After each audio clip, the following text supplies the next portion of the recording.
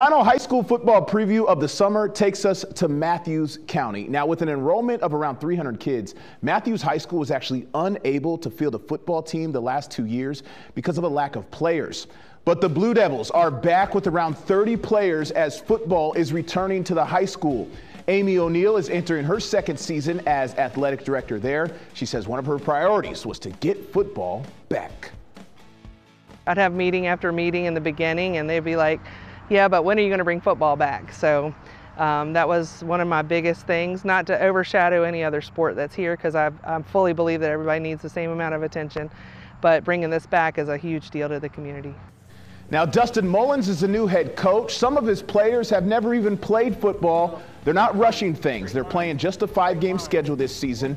The community has rallied around the team. The Booster Club makes some donations. There's nice uniforms. The players and coaches have been putting in the work in the hot summer sun as a new football era begins at Mathews High School. I've played no games of football ever. This is my first season ever playing. I'm so excited and I can't wait to play. Been waiting to play for three years now. I'm super excited. I've been wanting to play ever since I got into high school. And I was super upset when we didn't have one my freshman year. You don't realize how much you miss it until you don't have it anymore.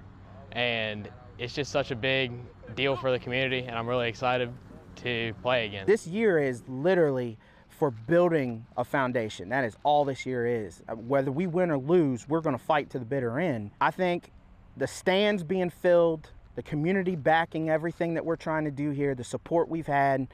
I mean, the excitement's going to be crazy for me.